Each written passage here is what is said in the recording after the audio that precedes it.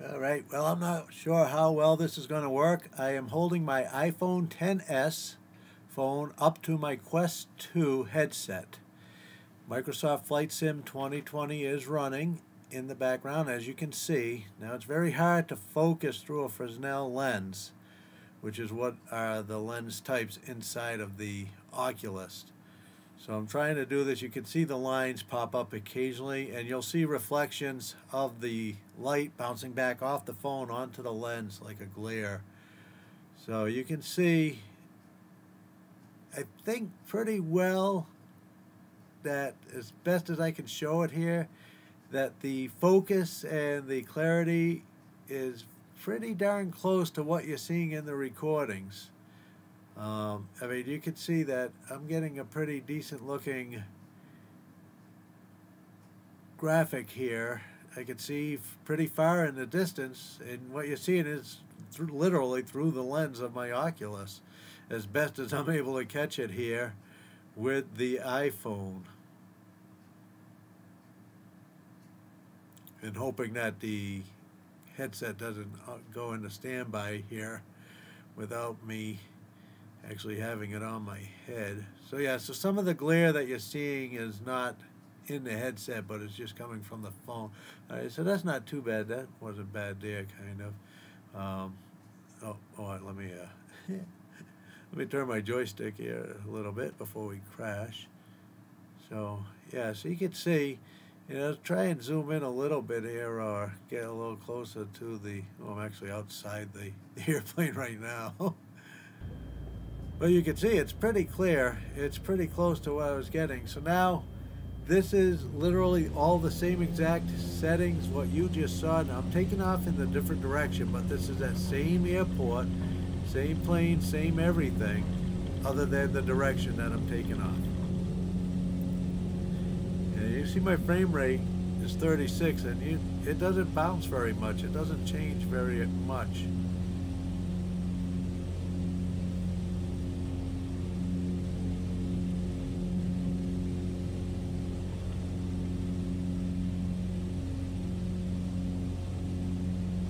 So this coming up here, this is the same area that you saw in my previous video, as well as what you just saw through the headset. This is that same area that we just filmed through the headset.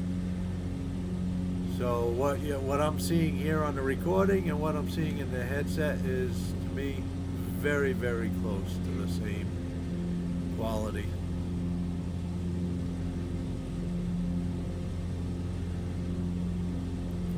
Now my frame rates right now should actually be a little bit better than this, but I believe I have buildings up on high currently, and I don't need them on high, and I think I even have my water up possibly on high or medium. But we're going to go over all my settings as best as I can remember every take. so, and it's hard because there's so many settings, but if if you're wondering about a setting that I don't show, just leave it in the comments and I'll, I'll tell you what I have set there. I don't use the Oculus app. I did try again with the link cable and Air Link. And with the link cable, my computer, believe it or not, just doesn't have the right connection. I didn't buy this with that in mind. And so I don't have the right connections. I can't use the Reverb G2 because I do not have a digital display uh, connection. I don't have a connection to use with the cable. So I bought this strictly with VR through the wireless Quest in mind more, more than anything. And so yes, I use virtual desktop. It is wireless. I do not use the Oculus apps. I do not use a debug. I do not use a tray tool. Changing the settings in the Oculus app has no bearing on this. This is strictly Steam VR, and it is a Microsoft Store version of the game. It was the first. So, all right, so here's my virtual desktop settings. Now, these are just the basic settings, but uh, you can see I have it set up with environment quality low, frame rate 90, desktop bitrate, and that's only the desktop itself, not the streaming of the game and so forth. So, and I have boost clock rates on. I don't notice any major drop in battery. I can fly for a couple of hours, and worst case scenario, I'll plug it in. and get some power. But for the most part, no, I don't change that. Okay, here for VR graphics, I have it set on high. The RTX 3070 is my card. The frame rate is 90. VR bitrate, I keep bouncing this around, but 70 seems to be the best for that and the sharpening. The synchronous space warp now, I leave that always enabled. Makes a big difference in the smoothness. And sliced encoding is turned on. So those are my virtual desktop, and this is the virtual desktop app that's available in the Oculus store. Now the game is still loading in the background, but we'll take a look at the Steam VR settings as well as the desktop settings. So here's my NVIDIA control panel and you'll see that I am running the latest version of the NVIDIA driver 512.15 which was released a few days back and I've been running it since and have probably gotten 20 to 25 hours of flying time now on this driver without any crashes, without any issues. I, I haven't made the change to DirectX 12 even though that's what's running on my computer in the game I'm still clicking DirectX 11. I don't know if that has a bearing on VR but I do know that it used to crash more with DirectX 12 than not. Um, all these are default so far, even that one that said off, that is a default. But then you can see I got these changed down here, very minimal changes. These are the only few that I have actually set to anything. And I had the virtual frames pre-rendered at 4. I dropped it back down to 3. And it's been very, very nice. But yeah, so only a few setting changes here in the NVIDIA control panel.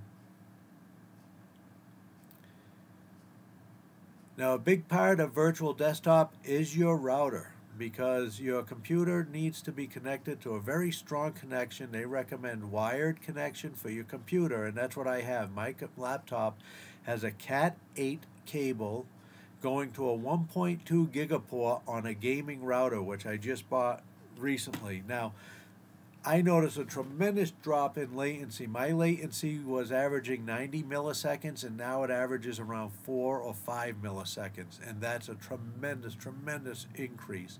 The gaming router was around $220, but for me it was worth it. It has, again, a 1.2 gig. You can see I got gaming mode on real quick. I'll, let me say that. Gaming mode. Hags. Oh, this decides to pop up now. Let me bring the desktop back up here in, in Steam VR. HAGS is enabled, my hardware accelerated GPU, and variable refresh rate is enabled. And as you saw, gaming mode was enabled. So those are all my default graphics. Now, again, the gaming router has a 1.2 gig LAN port that my computer is hardwired to, and streaming wirelessly is a 5 gigabit gaming channel. So I have a dedicated gaming channel streaming to my Quest. It's a 5 gigabit connection uh, streaming. I don't think the Quest gets that, but that's what it is. So now here you can see I have pretty much all defaults. Now the pre-game, you're not going to see this until we go into VR. So watch when I switch into VR because you see it's not available. Now it is. Now I have FS 2020.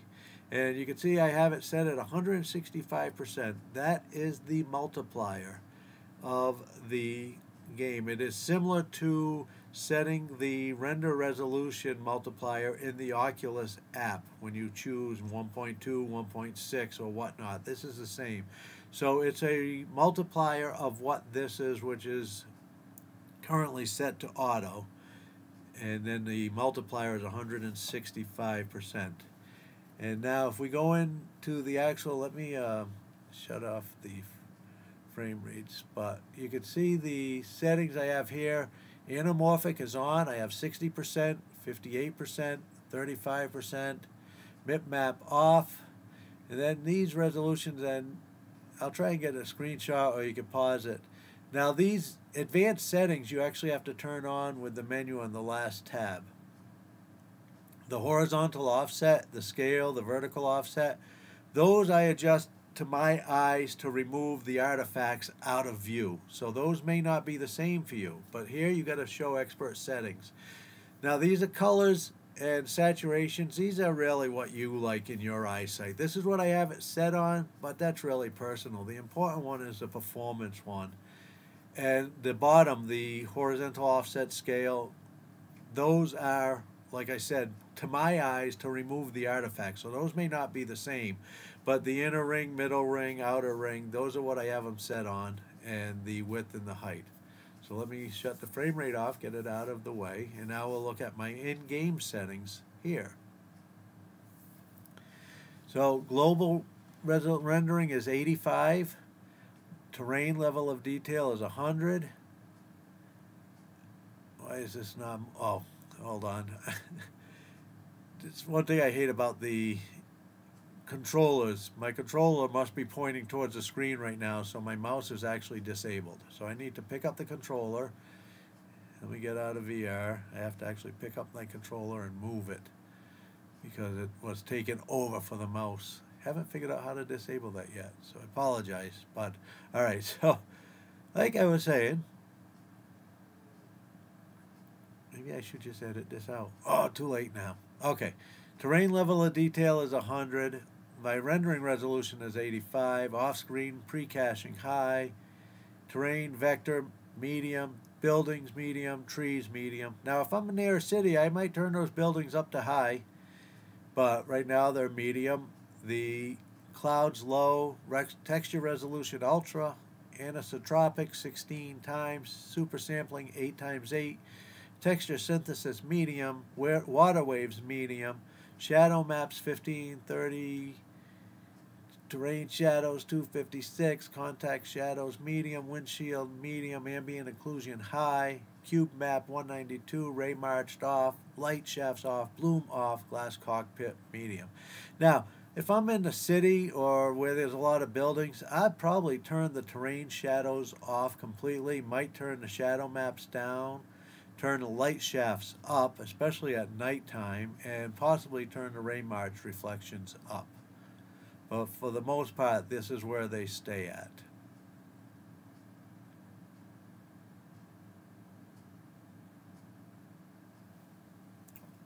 And you saw what I was getting, and you can see the videos I've been posting recently. I've posted, I mean, I think I put up like three a day now recently. So if you just go back over the past three days from when this video is posted, you will probably find six or seven good samples of my graphics settings.